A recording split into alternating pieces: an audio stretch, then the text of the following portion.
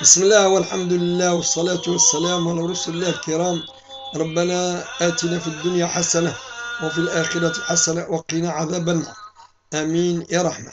أما بعد السلام عليكم ورحمة الله وبركاته. ورضوان ولا عدوان إلا على الأوبش لئام أولئك أي اللي سبق وصفهم من لدن الله سبحانه وتعالى. ومن أصدق من الله قيلا. أولئك نهايتهم هذول نهاية ليس فاجعة كما سبق في شأن الظالمين باسم الإسلام. أولئك سيرحمهم الله في القريب العاجل وستهدينا الرحمة. سيرحمهم الله إن الله عزيز الآية لا يغلب أبدا ولا يغفل أبدا. وهو حكيم يضع الأشياء في موضعها ويقدرها حق قدرها.